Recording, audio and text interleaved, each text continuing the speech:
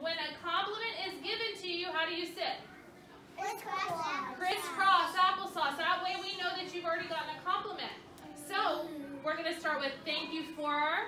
You can say, I like the way you. I like when you.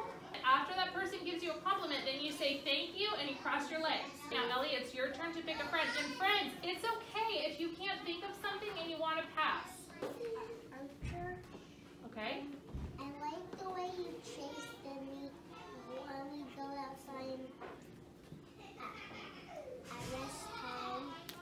job, Elliot. Archer, what do you say? Okay, cross your legs. Now it's your turn to pick someone. Cohen, Okay, tell Cohen. when I yank your sword. Okay, let's start. That's a very nice compliment about his shirt. Let's think of things that that our friends do for us and that um, the, the way they treat us. Let's think of, those things rather than things that we see. Because it does it matter what we look like?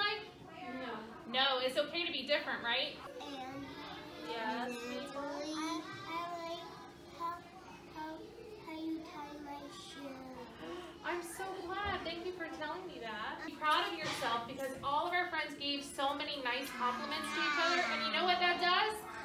That fills our buckets. buckets. You filled all of each other's buckets by saying such nice, kind words, right?